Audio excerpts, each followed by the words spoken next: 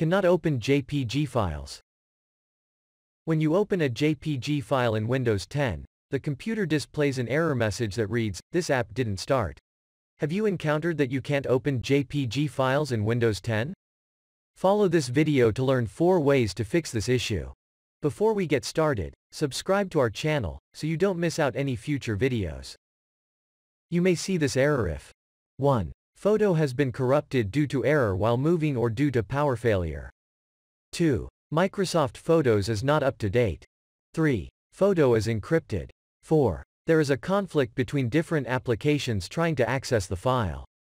5. Storage media such as USB drive or mobile phone memory corrupted. 6. Information of JPG header is missing. We will now look at different solutions to fix the JPG files. 1. Use another Photos Viewer application. 2. Repair and reset the Photos application. 3. Update the Photos application. 4. Repair the JPG files using TenorShare 4 DDIG. 1. Use another Photos Viewer application. You can try using another application to view photos. If you have advanced photo editing software try opening the JPG file in them. Similarly you can even use your web browser to view JPG files. Just drag and drop it in the browser. Another way is to right-click the JPG file and click Edit. It will open it in Paint. 2. Repair and reset the Photos application. Open Settings on Windows 11. Go to Apps and then Apps and Features. Find the Photos app and click on Advanced Options. Here you will see two options. Repair and Reset. Click both options one by one and see if your problem has been resolved. 3. Update the Photos application. Go to Settings and click Update. Check for updates. Download and install the latest version to avoid any inconvenience of using outdated applications.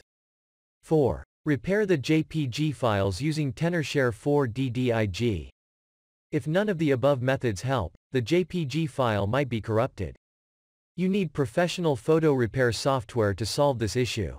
Apart from being a reliable data recovery tool, TenorShare 4 DDIG is also specialized in repairing corrupted or damaged photos and videos. To repair the corrupted JPG files with 4DDIG, download and install the program from the official website. Launch the app and click Photo Repair. Select the JPG file which is not being opened. Click the Repair button. 4DDIG will now repair the photo and show the results. You can preview your JPG file and restore it to preserve your memories. Hopefully you can solve, can't open JPG files, errors in Windows 10 with the above methods. To recover corrupted JPG files, we strongly recommend you give it a try to TenorShare 4 DDIG. Subscribe to our channel if you want more useful tips. See you next time.